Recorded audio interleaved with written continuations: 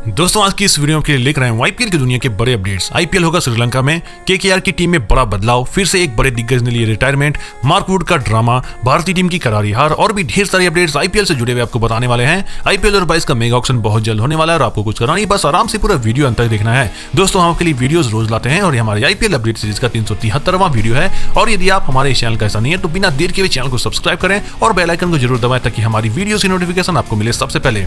चलिए देखते अपना सबसे पहले अपडेट दोस्तों हमारी सबसे पहले अपडेट निकल कर आ रही है कोलकाता नाइट राइडर्स की तरफ़ से। जहाँ पर आपको बता दें, कोलकाता नाइट राइडर्स ने अपने कोचिंग डिपार्टमेंट में एक बड़ा बदलाव कर लिया है। आज ही कोलकाता नाइट राइडर्स की टीम ने यह घोषणा की है कि उनके नए बॉलिंग कोच रहने वाले हैं Bharat Arun. T world cup तक भरत अरुण भारतीय टीम के बॉलिंग कोच हुआ करते थे, जो कि 2014 से थे, और उनके अंदर मोहम्मद समी जसप्रीत बुमराह और शार्दुल ठाकुर जैसे खिलाड़ी ने शानदार प्रदर्शन किया हुआ है। भरत अरुण के शामिल होने के बाद यह उम्मीद जताई जा रही है कि आने वाले मेगा ऑक्शन में इनका एक बहुत ही बड़ा रोल रहने वाला है, जहाँ पर कोलकाता नाइट राइडर्स की टीम इनका काफ़ी ज़्यादा इस्तेमाल करेंगे अपनी बॉलिंग डिपार्टमेंट को मज़बूत करने के लिए और अच्छे गेंदबाजों को टारगेट करेंगे आईपीएल बाईस के मेगा ऑक्शन में। वैसे आपको बता दें, कोलकाता नाइट राइडर्स की टीम के हेड कोच है ब्रेंडन मैकुलम। और इस अनाउंसमेंट के बारे में और भी ज़्यादा जानने के लिए आप हमारे टेलीग्राम चैनल पर इसको लेकर एक आर्टिकल पढ़ सकते हैं तो हमारे टेलीग्राम चैनल को ज़रूर ज्वाइन करें। यदि नहीं किया है तो क्रिकेट के बहुत सारे अपडेट्स और कंटेंट प्रोवाइड करते हैं आपको अपने टेलीग्राम चैनल पर। लिंक डिस्क्रिप्शन में ज़रूर ज्वाइन करें। चलिए देखते हैं अपना दूसरा अपडेट दोस्तों ने आपको कल की वीडियो में बताया था कि यदि भारत में वायरस की स्थिति ठीक नहीं होती है तो फिर विदेश में करवाने की संभावना जताई जा रही है। और ऐसे में साउथ अफ्रीका को सबसे पसंदीदा वेन्यू के रूप में देखा जा रहा है।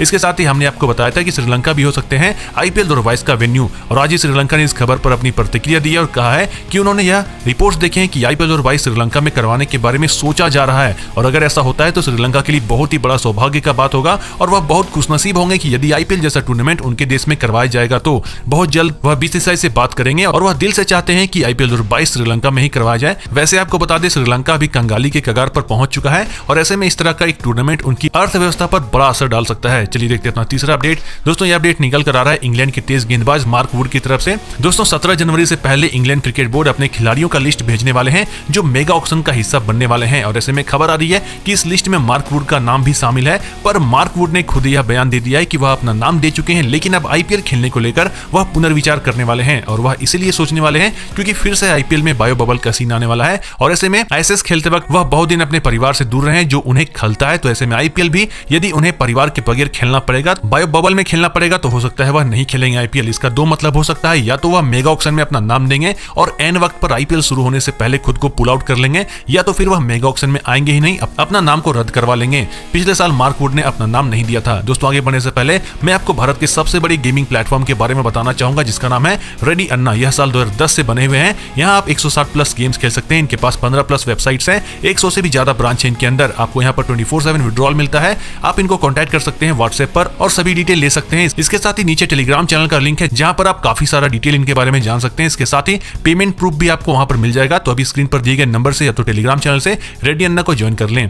चलिए देखते हैं अपना चौथा अपडेट दोस्तों, ये अपडेट निकल कर आ रहा है। भारत और साउथ अफ्रीका के बीच चल रहे टेस्ट सीरीज़ को लेकर भारत के पास एक बहुत ही अच्छा मौका था साउथ अफ्रीका में सीरीज़ जीतने का, लेकिन बल्लेबाजों के निराशाजनक प्रदर्शन की वजह से भारतीय टीम ने तीसरा टेस्ट मुकाबला सात विकेट से गवा दिया। इसके साथ ही सीरीज़ को दो एक से हारा है। और अब भारत और साउथ अफ्रीका के बीच वनडे मुकाबले शुरू होंगे, जिसकी शुरुआत उन्नीस जनवरी से होगी और भारत और साउथ अफ्रीका से जुड़े हुए सभी तरह के अपडेट्स आपको हम अपने भारत और साउथ अफ्रीका अपडेट सीरीज़, जो की एक अलग ही वीडियो होती है, जिसमें सिर्फ़ भारत और साउथ अफ्रीका के बारे में आपको हम जानकारी देते हैं, उस वीडियो में देंगे। तो उन्हें भी ज़रूर देखें। उन वीडियोज़ में भारत और साउथ अफ्रीका को लेकर सभी तरह की अपडेट रहेगी, जो पहले से चैनल से जुड़े हुए उन्हें पता होगा। चलिए देखते अपना पांचवा अपडेट। दोस्तों ये अपडेट निकल कर आ रहा है राशिद खान की तरफ़ से। राशिद खान को लेकर अहमदाबाद और लखनऊ दोनों ही टीम एक तरह से अंदरूनी लड़ाई में लगे हुए हैं, और अब यह लगभग कन्फर्म हो चुका है कि अहमदाबाद की टीम में राशिद खान जाएँगे। और इसको लेकर आकाश चोपड़ा ने कहा है कि एक तरह से राशिद खान यदि अहमदाबाद की टीम में जा रहे हैं तो यह एक चोरी हुआ। यानी कि राशिद खान को सनराइजर्स हैदराबाद की टीम से छुड़वाया था, लखनऊ की टीम ने, और मौके पर चौका मार दिया अहमदाबाद की टीम ने। तो एक तरह से राशिद खान को चुराकर अपनी टीम में अहमदाबाद की टीम ले जा रहे हैं, जो की शुरू से ऐसा माना जा रहा था की लखनऊ की टीम में राशिद खान और के राहुल फिक्स हैं। आपको क्या लगता है, राशिद खान क्या सही चॉइस है अहमदाबाद की टीम के लिए, या तो फिर उन्हें लखनऊ की टीम में रहना चाहिए? हमें कमेंट में ज़रूर बताइएगा। देखते अपना छठा अपडेट दोस्तों, आपको बताना चाहेंगे, पाकिस्तान क्रिकेट बोर्ड के नए अध्यक्ष रमीज राजा ने एक प्रपोजल सेंड किया हुआ है आईसीसी को, जहाँ पर उन्होंने यह कहा है कि आईसीसी को चार टीमों का टी सीरीज़ करवाना चाहिए, जिसमें कि पाकिस्तान, इंग्लैंड, ऑस्ट्रेलिया और भारत शामिल हो। और इससे जो भी बेनिफिट होगा, वह चारों टीमें आपस में बांट लेंगे। टी वर्ल्ड कप में भारत और पाकिस्तान के बीच जो मुकाबला हुआ था, उसने बहुत सारे पैसे दिए थे और कमाई के सारे रिकॉर्ड भी तोड़ दिए थे। तो ऐसे में फैंस भी खुश होंगे और ऊपर से सभी टीमों का फाइनेंशियल स्ट्रक्चर भी सही होगा। इसके साथ ही भारत और पाकिस्तान के रिश्ते भी मज़बूत होंगे। हालाँकि फाइनेंस स्ट्रक्चर की हमारे मुताबिक बीसीसीआई को तो ज़रूरत है नहीं, पाकिस्तान क्रिकेट बोर्ड को ज़्यादा ज़रूरत है। अब देखना काफ़ी ज़्यादा इंटरेस्टिंग होगा कि क्या रिप्लाई करते हैं आईसीसी इनके इस प्रपोजल पर।